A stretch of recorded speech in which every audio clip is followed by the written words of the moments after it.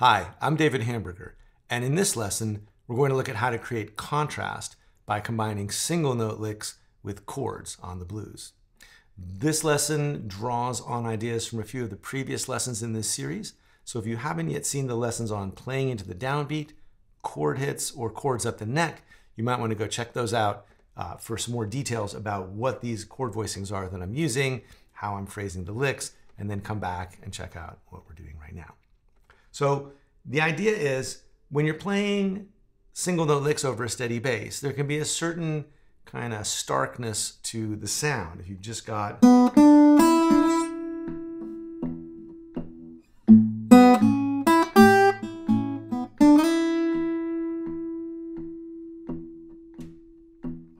that kind of phrasing can leave a lot of space. Space is good, but also just having single notes over the bass sort of leaves a certain amount of space in the middle register of the guitar that's not being used. Again, space is good, but if you want to create a bigger sense of dimension, um, more elements going on, adding in these chords as responses to the single note licks can give you a new sort of depth, a new kind of texture, and also create an additional level of call and response. So if we have a short lick, followed by a longer lick.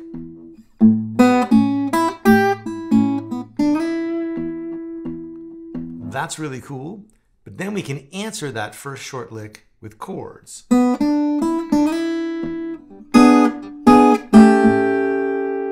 then we can answer the longer lick with a longer chord lick. And so now we've got the call and response between the short and the long lick, and the call and response between each lick and the following chord statement.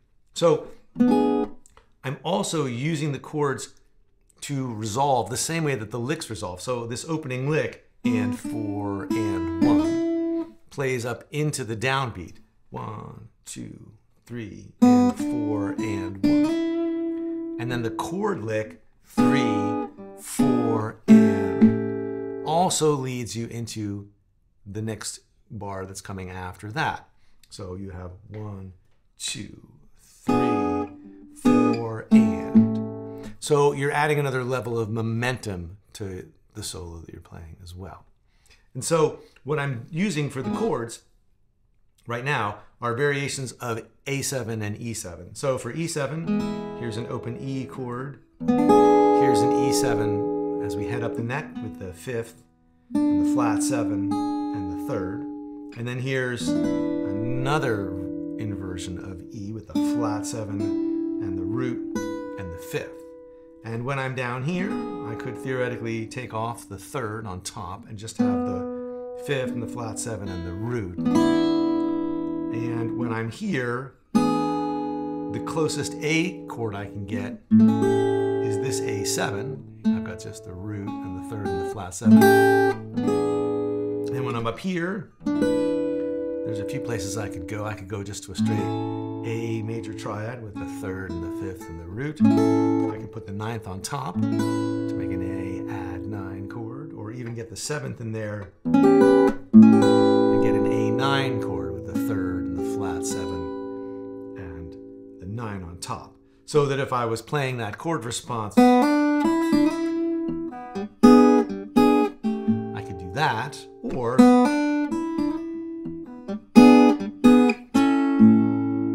so if you want to hear the melody go up, you could move up like that. If you want to start on this chord,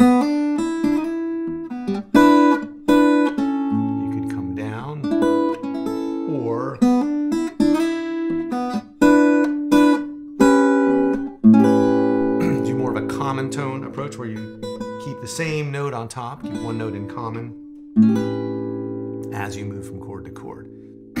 but each time I'm using the same rhythmic phrasing, so once you've got the idea of an opening lick followed by that particular chord rhythm, you can experiment with different ways to answer your own licks.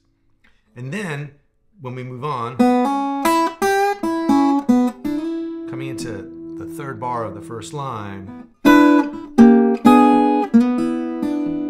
you can take a longer single note lick and answer it with a longer chord phrase. So here we've got E7, and then using the open string as a, a melody note, playing a half step below the E7 chord we want to get to, and then taking the pinky off to kind of roll through or arpeggiate the E7 chord. So, so I'm really just kind of following around this melodic idea and then harmonizing it with the chords.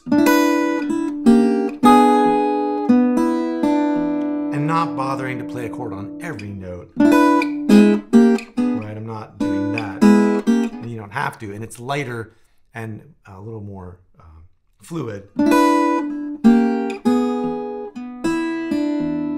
If you're using chords on sort of the important accents um, and just letting single notes fill in in between. So you can divide the blues up into three lines of four bars each. So we've just looked at the first line, bars one through four, and we've had a single note lick, a chord answer, a longer lick into bar three, and then a longer chord answer. Now the second line we can treat in a really similar way.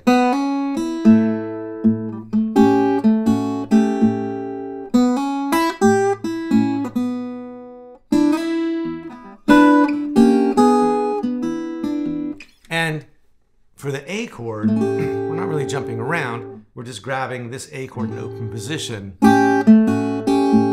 and doing a little bit of just sort of embellishing of the chord, taking an A7, going down to the sixth and then back to the seventh on top. And just using index, middle, and ring on the top three strings. Index, and then a pinch using middle and ring on the top two strings.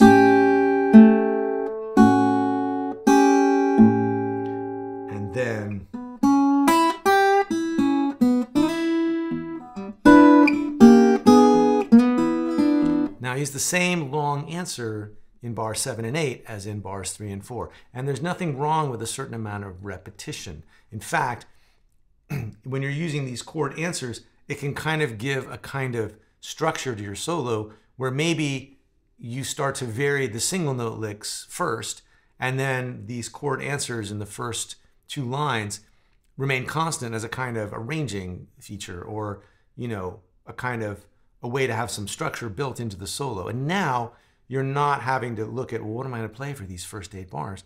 Now you're just looking at, well, I've got this little shape that's marked off by these chord hits. And so you just have to come up with a couple of short and short single note licks. Play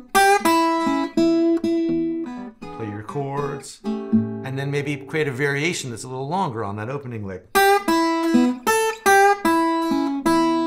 So now your job is a lot simpler. One idea can kick off the whole first eight bars.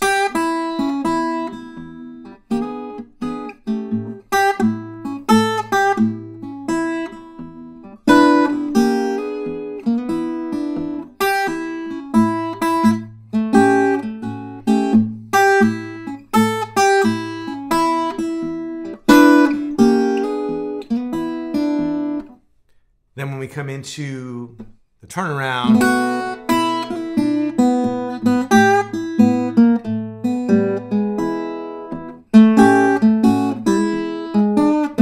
we have a little less space because often on the five chord, you might play through the bar and then you want to play something on the A chord that's going to lead you back to the one.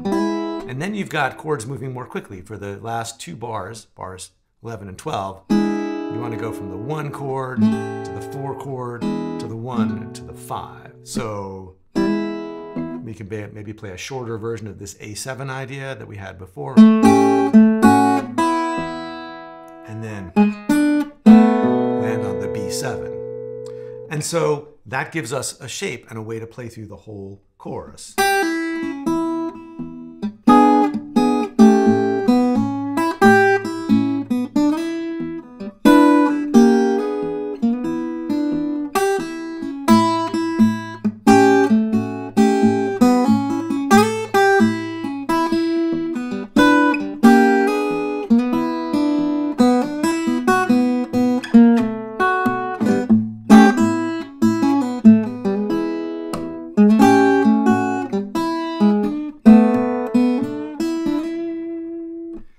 That's doing it just using seventh chords and major chords. But we could also use some more expanded voicings, sixth and ninth chord voicings. So for E, we could use this E6 chord with the third and the sixth and the root, and then this one with the sixth and the root and the third, and this one with the root, third, and sixth. And of course, each one of those slid down two frets to make a ninth chord. There's E9 with the nine, no, with the fifth, and the flat seven and the nine on top. And then here's E9 with the flat seven and the nine and the fifth on top. And then up here, here's the last one with the ninth and the fifth and the flat seven. And you can turn those around and get the, the A versions A9, A6 down to A9, A6 down to A9, and A6 down to A9. But we could use the same kind of rhythmic structure and put the chords in the same places, just have different colors now for the voice for the chord voicings.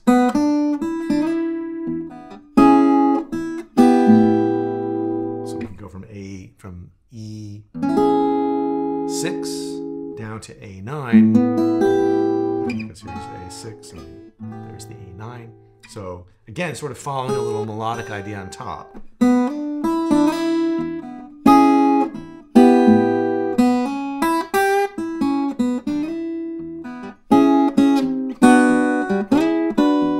And again, a short idea answered by a longer chord idea.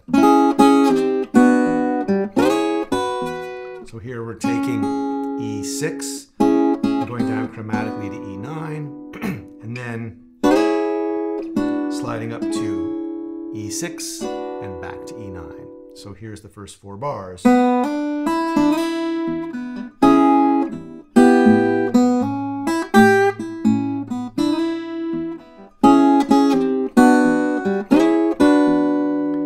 And then for the next four bars, bars five through eight, starting with the A chord,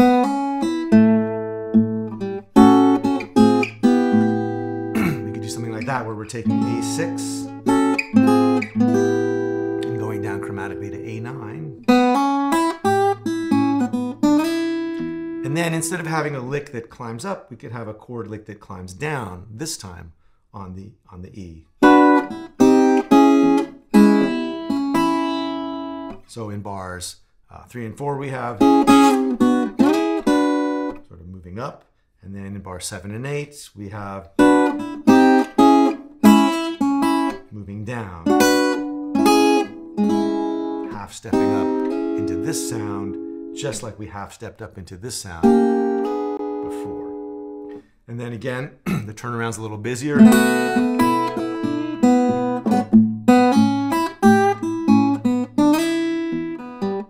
A few different ways we could do that. I think uh, in the opening example, I did something like that. So A to A9, A6 to A9, and again pivoting off of the open E string. But also, yeah, you could start on that A9, go A9 to A6 to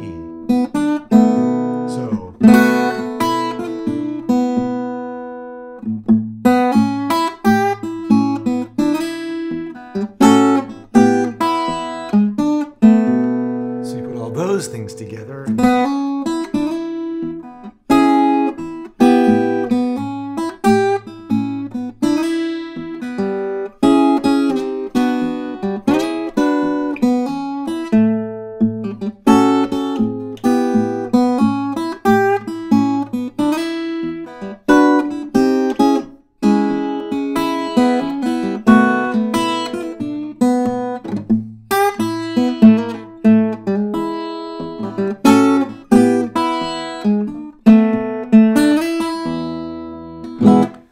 So that gives you a couple of different ways to approach this.